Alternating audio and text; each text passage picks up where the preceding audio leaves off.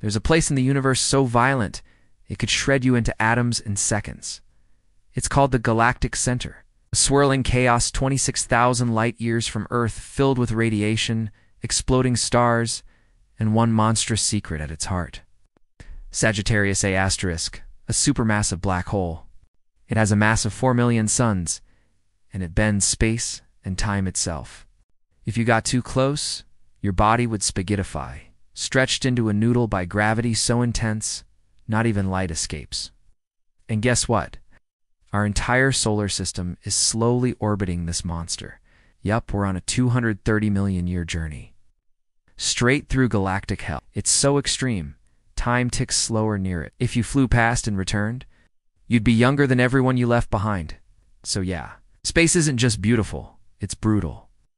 And we're literally on the road to its most dangerous zone. If that just melted your brain, hit like and subscribe to Factual with AI channel.